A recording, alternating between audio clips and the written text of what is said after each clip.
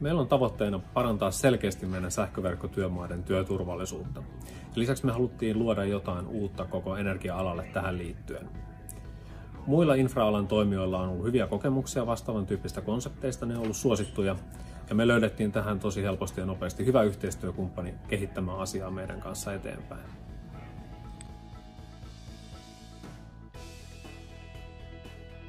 No tämän kontin parhaita puolia on ehdottomasti logistinen puoli, eli kontti pystytään toimittaa ja sijoittamaan käytännössä niin kuin mihinkä vaan asiakkaan haluamaan paikkaa. Ja toinen vahva pointti on totta kai se, että näistä konteista pystytään tekemään niin kuin isompia, isompia kokonaisuuksia ja, ja muokkaamaan tätä peliä matkan varrella.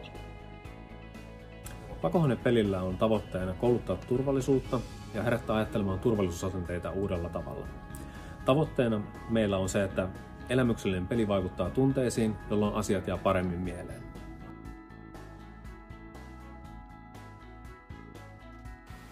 Pakohuonepeleissä tapahtuu paljon tiimityöskentelyä, joka tutkitusti puustaa ihmisessä muun muassa ihmisen luovuutta ja tehokkuutta.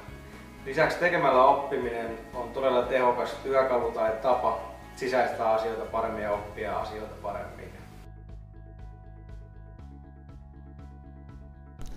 Näin jälkeenpäin sanottuna prosessi oli melko yksinkertainen ja suoraviivainen. Mitään valmista sapluunaahan näihin ei ole, mutta yhteistyössä meidän urakoitsijakumppaneiden sekä tässä projektissa mukana olleen yhteistyökumppanin kanssa saatiin luotua erittäin järkevä kokonaisuus. No esimerkiksi tässä Elenia-tapauksessa, niin totta kai siinä oli paljon, paljon ammattilaisia eri, eri osa-alueilta mukana tekemässä niin kuin tätä pakohuonepelikontin suunnittelua. Nämä kontit itsessään on niin monipuolisia, että nämä pystytään räätälöimään helposti jokaisen asiakkaan toiveen mukaan erilaisiin käyttötarkoituksiin.